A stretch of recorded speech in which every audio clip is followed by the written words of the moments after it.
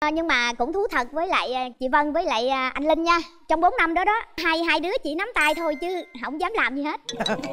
Không có tiến xa hơn luôn. Dạ có nghĩa là cái thời điểm của mình và chị Hồng Vân á là ba mẹ rất là khó. Đúng rồi. Ví dụ như à, mình nói chẳng hạn như vậy nè mẹ nói à, trước khi mẹ bị đi với anh anh trai đấy á là phải giữ mình đứng xa xa thôi đứng gần á là coi chừng nha con. Ừ. mẹ nói coi chừng có bầu á con à, à. thế là sợ quá cứ à, hễ anh đứng bên này là mình anh đứng bên này thì mình cứ nhảy bên kia anh đứng bên kia thì mình cứ đứng bên này thôi cách xa nhau. Đó rồi á em đi vào xí nghiệp rồi xong rồi á là ba mẹ bệnh là coi như em chăm lo cho ba mẹ rồi xong rồi thì đến đến bây giờ tới bây giờ luôn? ba mẹ mất rồi em mới nghĩ tới mình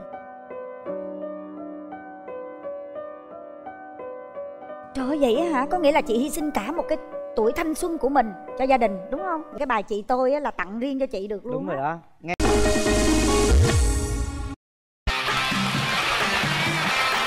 Rồi xin mời nhà gái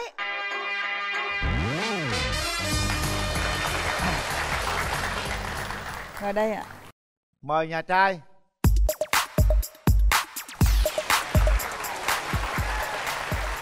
Dạ dạ à. chào uh, chào anh ạ à. dạ.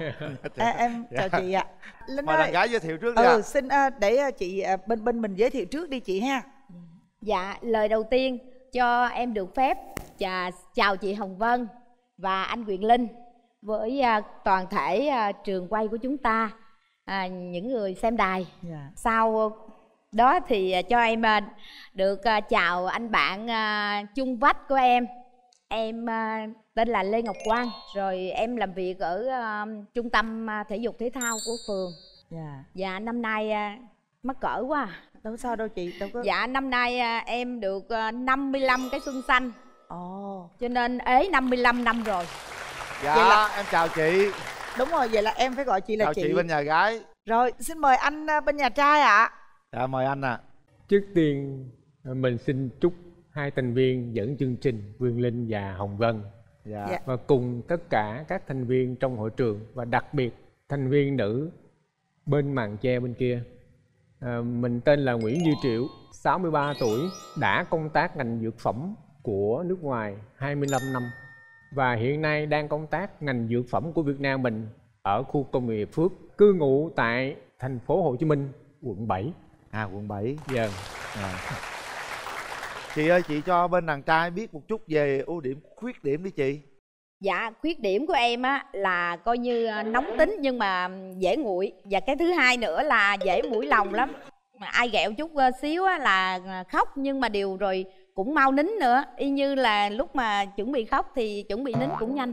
À. cho nên cái đó là có gọi là khuyết điểm không anh ninh không cái đó không phải là y uh, khuyết điểm mà cái đó là một cái một cái cá tính riêng của của của mỗi người tại vì cái cảm xúc thì mình không thể nói nó là khuyết điểm được chị. Dạ. và xin mời nhà trai ạ. À. điểm mạnh của dư triệu á thì nói chung cũng có cái là hòa đồng và trong cái cuộc sống mình cũng phải học hỏi với mọi người. Và đặc biệt là có cái là hay đam mê thể thao. Anh và, chơi môn gì anh? Và luôn luôn chơi có một môn duy nhất thôi là cái môn tennis. Sau khi chơi cái môn này thì cách nay 25 năm là bỏ thuốc lá luôn. À được. tốt rồi đó. Còn cà phê là hoàn toàn không có rượu cũng không có bia thì có. Dạ. Cái đó là cái sự xã giao của dạ, cái người rồi. phái nam như thế dạ. dạ. Thì cái điểm yếu thì nó có cái như hơi lười biếng nhưng mà có cái tác động của gia đình hay là cho người xung quanh đó. Tác động vô thì mình xiên trở lại. Xin à, đàn gái cho đàn trai biết chút xíu về đường tình duyên à, được không ạ? Dạ được.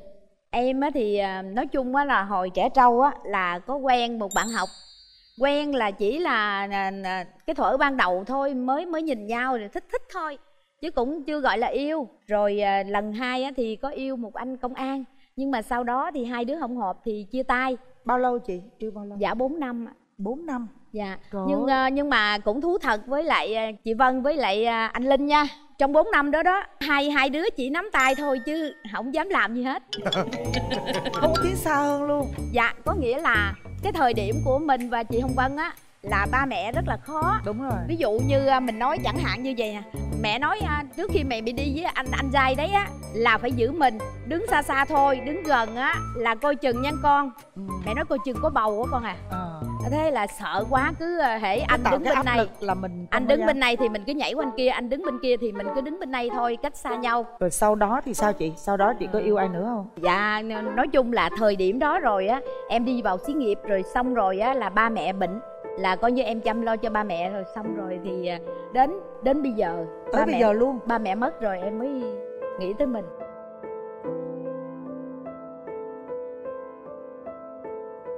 Trời ơi vậy hả? Có nghĩa là chị hy sinh cả một cái tuổi thanh xuân của mình cho gia đình đúng không? Dạ Cho ba mẹ chăm sóc các cụ Lúc đó thì em nuôi bà ngoại nữa Rồi sau đó thì bây giờ là nuôi ông anh nữa Làm như là mình đang rảnh á Có nghĩa là mình không có người để mình chăm sóc Mình chăm sóc những người thân của mình Ồ vậy hả? Dạ. Trời ơi vậy là cái bài chị tôi á, là tặng riêng cho chị được luôn đúng rồi đó nghe bên Ờ. đàn gái thấy cảm xúc quá nha anh thấy sao anh chưa có người yêu luôn á còn nhận phải nó kiên trì quá dạ Kiên trì. kiên trì coi như thì cái điều đó thì cái đó là cũng là điều rất là vâng Chào anh. chào à, Dạ. hồng dân em Dạ em chào anh ạ. Dạ, vâng. Dạ. thì cái đó là cái điều mà cũng may mắn cho mình luôn dạ Dạ. Thực sự thì em nghe câu chuyện của chị bên đây em xúc động quá. Tốt. Em nghĩ là những người làm như vậy á, là thực sự chỉ có những người phụ nữ Can cực đảm. kỳ nhân hậu, can đảm can đảm và nhân hậu nữa. Tại vì họ làm bằng trái tim, họ làm bằng Đúng sự rồi. tự nguyện chứ không ai ép Vâng, buộc họ hết. cảm ơn à, còn à, anh có thể chia sẻ chút xíu cái đường tình duyên cho đàn gái nghe đi anh nói chung à, Duy Triệu thì có gia đình bà xã thì mới mất năm 2018 và À. có hai đứa con hiện nay ở nhà chỉ có hai đứa con và Duy Triệu mà thôi tức là ba tức là ba người trong gia đình ba cha con. và ba cha con Dạ. bây giờ thì anh cũng có thể bước bước nữa để tìm người tri kỷ tri âm cho một cái chặng đường sắp tới để có thể chăm sóc nhau Đúng rồi. chia sẻ yêu thương lẫn nhau. Linh thấy đây cũng là câu chuyện cũng hay đó. Dạ chào chị. Dạ Huyền Linh. Dạ. Chừng à, cái nửa mảnh ghép của chị còn đâu đâu đó. Bây giờ chúng tôi đã mời đến đây rồi. Nửa mảnh ghép gần như ngồi sát bên đây rồi. Bây giờ trong đầu chị nghĩ là nửa mảnh ghép của chị là một người hình tượng như thế nào? Nói chung á là cái hình tượng á thì nó không quan trọng lắm nhưng mà điều cũng dễ dễ nhìn chút xíu là à, anh ấy à, ví dụ như đi ra đường thì mọi người khi nắm tay mình á, thì anh ấy là sẽ là người vững chãi hơn tí à, khỏe mạnh hơn tí. Để có gì á, khi mình ngã đó thì anh ấy nâng. Dạ. Rồi à, ví dụ như á à, anh ấy á, không cần phải là đẹp trai tại vì bây giờ mình còn sắc dốc gì nữa để mà đẹp. Nhưng anh ấy cũng phải ngoại hình cũng nhìn dễ nhìn tí xíu được đừng có được lắm á chị.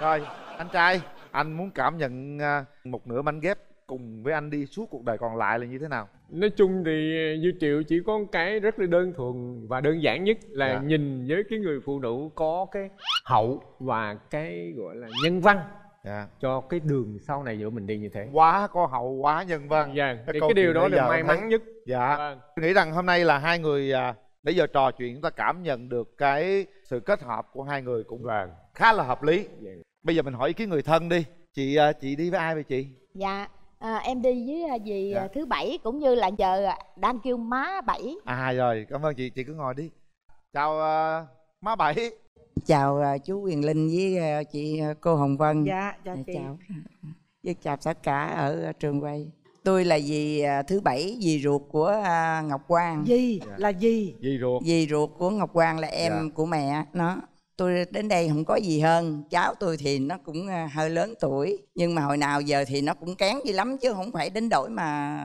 ấy. Nhưng mà bây giờ nếu mà trường hợp mà nó ờ, do nó ờ, quyền lựa chọn là nó thôi. Dạ. Vì à, thấy đàn trai sao? Thấy cảm nhận có hợp với đàn gái không? Đó tùy hai đứa.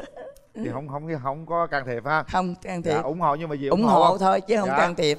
Rồi ủng hộ được rồi. Cảm ơn gì anh đi với ai anh trai xin nói với tất cả các thành viên đi với gia đình là anh ruột người thứ tư à vâng và ông anh trước cửa nhà đây là anh ruột người thứ Dạ. tư dạ Xin chào MC Quỳnh Huyền Linh Dạ, với dạ. xin chào MC Hồng Vân. Dạ, Dạ, Tôi là anh của ờ, bên đàn trai. Theo anh nó Triệu. Có. Anh anh thấy ờ, bên ờ, cô gái á xinh xinh, dạ cao, có vẻ là lanh lợi nha. Anh cảm thấy là lanh lợi. Không biết rằng ờ, Cái ý- hai em có tiến xa với nhau hay không. dạ Nhưng anh cũng xin chúc mừng trước thôi. Rồi. Tôi ờ, xin chào anh ờ, Quyền Linh và chị Hồng Vân. Dạ chào anh. Thì tôi ờ, báo cáo với lại ờ, các anh các chị cùng toàn thể hội trường. Tôi thì ở đối diện với nhà anh Triệu. Thế thì ờ, cũng điều là không may mắn là vợ anh Triệu thì cũng chia tay gia đình để ra đi cái đi hai năm rồi. thế thì thực lòng đó mà nói tôi rất thương anh triệu vì anh là người rất hiền lành tôi cũng có ý định là mai mối cho anh triệu mấy cô rồi. Thế nhưng mà thực tâm ra mà nói là cái ờ, đồng cảm thì là nó chưa gặp may mắn. Thế hôm nay cũng ờ, chương trình ờ, đưa anh triệu và chị quang thì qua cái trao đổi thì tôi có cái cảm nhận thế này.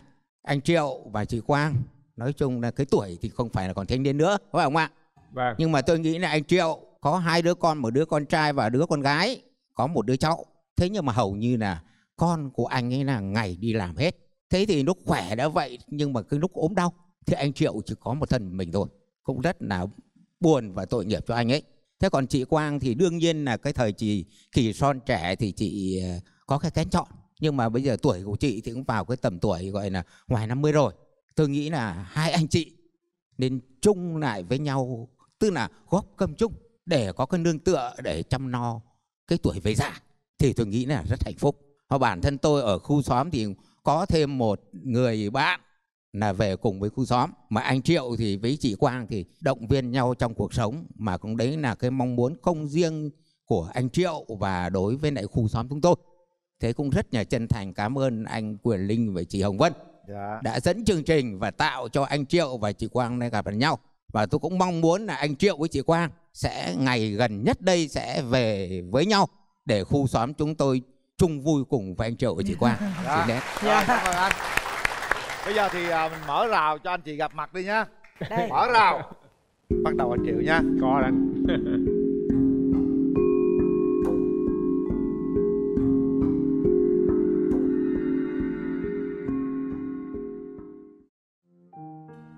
chào em dạ chào anh à, anh có món quà gửi cho em dạ em cũng có món quà để gửi anh rồi mặt cảm ơn nhiều rồi xin mời à, cho anh để lên bàn cái ha. Mở quà đi chị. Là cái gì đó à cái này cà vạt anh. À. đây bộ là khăn. đây là bộ khăn. Bộ để em khăn. về mỗi lần mà em sử dụng á. sử dụng á em nhớ cái ảnh. Rồi Còn... cảm ơn uh... ủa bển là gì vậy anh triệu? cái này cái cái cà vạt. cà vạt. Cà chị đeo cho ảnh chị. Vậy hả? Anh cầm có đây có đây. Cà vạt màu gì vậy vân? Cà vạt màu xanh cơ. Xanh hả? Hai người này giờ chăm sóc với nhau chắc đã lắm nè cảm ơn nguyên linh nhiều rồi cảm ơn em nhiều rồi mình à, mình cảm nhận về nhau đi anh chị thì cái điều mà may mắn là đối với anh thì có được cái niềm an ủi của em dạ. thì điều đó là cuộc sống của anh cũng cũng mừng dạ. và nhất là về vấn đề mình sống phải có cái nhân văn xíu với cái hậu cái phúc hậu của mình nữa dạ. Yeah. nói chung là em á thì không không phải tự em hoàn chỉnh em yeah. Dạ. thì em à, bây giờ sẵn chương trình em sẽ cảm ơn à, trước tiên là cô giáo em rồi à, sau đó là ba mẹ đã sanh ra em yeah. Dạ. và những người bạn những người bạn đi cùng em rồi cảm ơn em em em xin lỗi chương trình em hơi xúc động em thấy vậy nè chị để bỏ mình bớt đi cái cảm xúc xúc động này đi mình hát bài đúng cái sở trường của sở sở trường sở đoạn của chị đi chị cái cái cái này cũng à, xin lỗi. À, cũng không phải là là là hay hay là cái gì nhưng mà kiểu như là cái bài này nó đi sâu vào lòng em. Dạ bài này là bài hoa 10 giờ. Hôm chia tay chiều chúa nhật anh bảo rằng tuần sau anh đến hái một nụ hoa xinh xinh màu tím tím anh cài lên mái tóc thề. Rồi hẹn tuần sau khi hoa mười giờ nở anh sẽ đến thăm em. Em trông chờ từng phút bao đêm rồi không ngủ mong đến ngày được gặp anh. Vậy đi anh, dạ, anh chịu ơn. hát uh, tặng lại chị đi.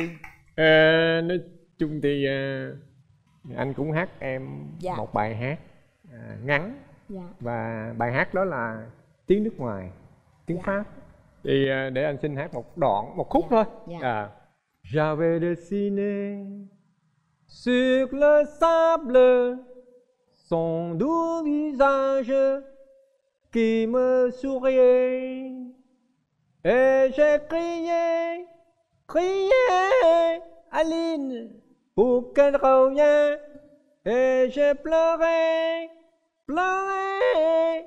Oh về Trop de peine. Hết rồi nè. À, cái bài này em biết rồi nè. sẽ hát lên ha. Bài này Hát nói lên. về ờ bài hát tình yêu lên đấy. hát lên về tình yêu đó. Em biết bài, Bài này. nổi tiếng luôn. Rồi, cảm ơn uh, bây giờ anh chị à, đã à, gặp Có. nhau rồi Dạ, cảm ơn Đã người hát, có cảm xúc rồi. Mình nói luôn đi anh. Bây giờ thí dụ như bây giờ mình mình dự định tương lai mình góp gạo thổi chung đó. Thổi Thì- cơm chung chứ thổi chung là thổi gì? Thổi cơm chung chứ thổi chung là thổi gì? Góp gạo thổi cơm chung. Ừ À. chuyện của người Từ ta từ, mà mình từ run từ là sao? Đó. để làm bên Dạ. đây nó khớp tinh thần nữa. À. à, em trường hợp như thế này trong cái cuộc sống sắp tới thì cái tâm trạng của em là như thế nào? Để anh có anh cái cái cái anh, anh, anh đáp ứng theo. Dạ. À, nói chung á là hồi nào giờ á em cũng nói thật ra là em sống một mình á cũng có cái quen quen nhưng mà điều á là em thấy nó có gì thiếu thiếu. Cho nên á là em muốn bù đắp cái thiếu đó vô. À. Nhưng mà giờ em không biết là có phải là trời đã đưa cái thiếu, thiếu, thiếu gần lại gần em Rồi, chưa. còn cái à, chuyện về em á thì em cũng xin nói thẳng với anh á là khi mà ví dụ như á chúng ta chúng ta góp gạo nấu cơm chung thì em cũng xin anh vậy nè cái ờ, chữ hiếu á lúc nào người ta cũng đặt trên hàng đầu. Cho nên ví dụ như em có quá hiếu á thì anh cũng ờ, có gì anh bỏ quá cho em. Còn ờ, nếu mà à, thổi cơm chung á mà mà mình phải xin trước chứ nếu không xin á, thì không được. Cho nên đó là em chỉ yêu cầu nhiêu đó thôi. Phần anh bây giờ anh cũng nói rõ cho em biết là những gì cái quan niệm suy nghĩ của em sống như thế nào thì hoàn toàn anh không can thiệp sâu vào cái chuyện đó. À, và tiếp tục những cái gì mà mình còn đang làm lúc trước tới bây giờ vẫn tiếp tục làm luôn không có Dạ. ngại ngùng như đó rồi em còn cái này nữa à một cái ví dụ như em á là nếu mà nói là người của công chúng thì không có đúng mà kiểu là người của xã hội em rất tham gia nhiều cái ờ, coi như là cái hội này hội kia Vâng. thì à, ví dụ như chúng ta đến với nhau thì anh có thể nào anh nới nã anh cho em đi tham gia hội hè này kia tức là chứ mở đừng có bó buộc em, đi- vào cái tình cảm không thì mở à, rộng em ra cho đi sinh hoạt á phải dạ không? yes ok không sao hết cái người mà sinh hoạt như em vậy đó nó có cái tâm trạng thoải mái hơn nữa mà lúc đó mình thấy cái người phụ nữ đó họ có những cái hoạt bát thêm nữa. bây giờ thì em em em cũng nói là hồi nãy giờ Rồi, em ok. có tí chút cảm tình với ảnh Có. Nói chút có có rồi Có. nhưng mà rất cũng cảm ơn em Dạ.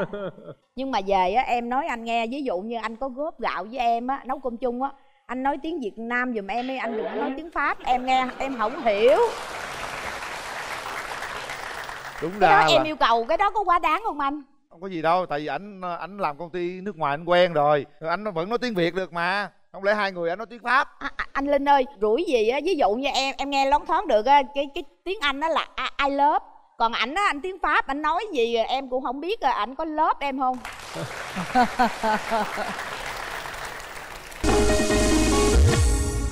Rồi bây giờ thế này anh chị mình để tay vào nút bấm đi. Rồi mình quyết định đưa ra quyết định của mình. Rồi để tay vào đây anh đây trai đây không? Chúng ta đang đối diện với hàng triệu khán giả. Chúng ta đang đối diện với người thân của mình. Thành ra là mình à, cứ theo con tim mách bảo đi. Vậy đi con tim nó nói bấm là bấm. Ừ. Đơn giản như vậy. Đếm đi linh ơi để hồi hộp quá. À. đếm đi. Rồi đếm đến ba là anh cháu chị nó cũng muốn mình bấm đó. anh chị quyết định nghe. Một hai và ba.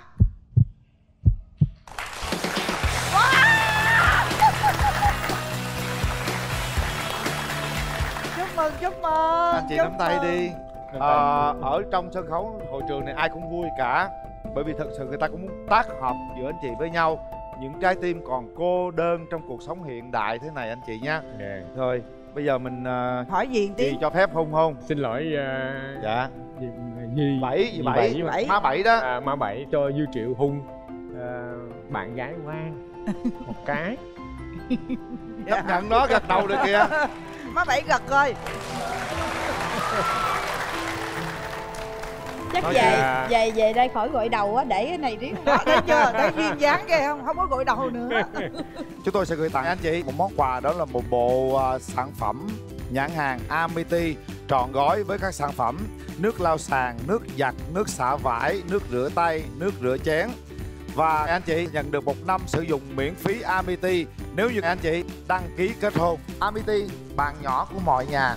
Tặng anh chị một bộ sản phẩm viên uống mắc he, ngăn ngừa rụng tóc, kích thích mọc tóc nhanh, chắc khỏe và bóng mượt. Mắc he dùng tốt cho cả nam và nữ.